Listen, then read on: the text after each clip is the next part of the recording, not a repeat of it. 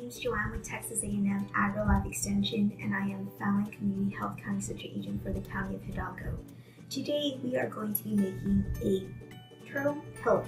This turtle pillow will be donated to So Many Smiles. So Many Smiles is an organization that supports children with serious medical conditions. The Master Clothing Volunteers is a group of volunteers that teach individuals how to sew. The Master Volunteers from Hidalgo County decided to make this as a community service project.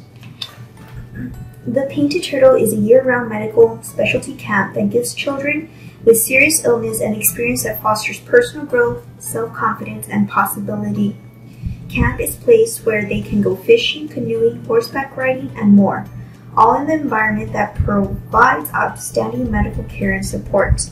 With that, they get to take a pillow with them.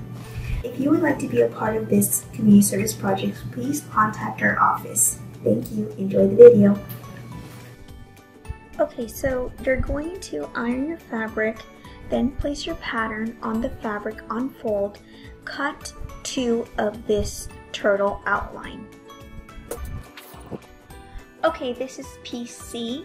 You would also iron your fabric, then pin the pattern on top of your fabric, you just need one piece of fabric for this pattern.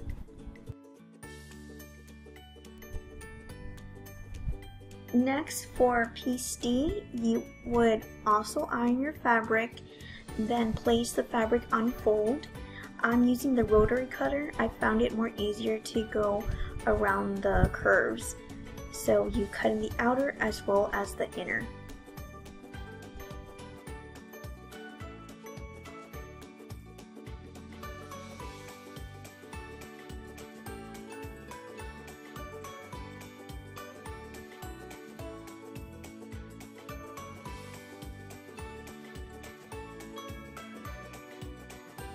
What you are going to have are two pieces of the turtle outline, two pieces of the oval outline, and one piece of the oval. The first step you're going to do is sew around the outside layer of the oval piece.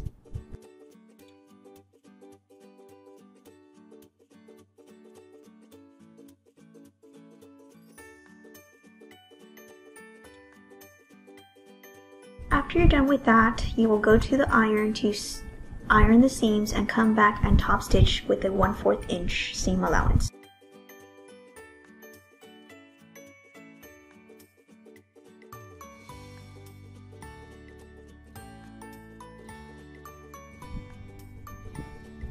Then you're going to sew the oval opening with a basting stitch.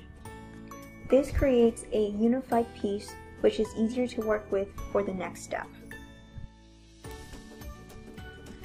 The next step is you want to get your oval gathering along with the small oval and pin them in place. The next step is sew your gathering all around the seam.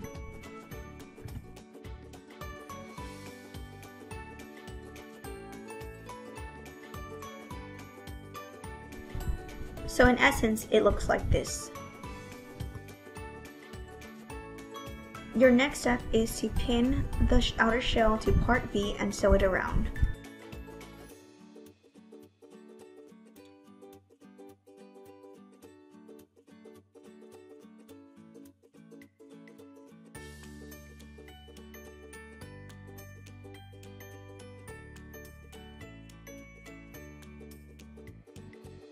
Next, you put part A and part B together and sew around.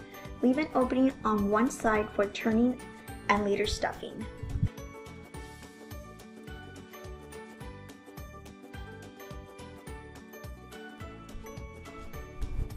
And you're done. So flip it over, iron it out, and you're ready to ship it off.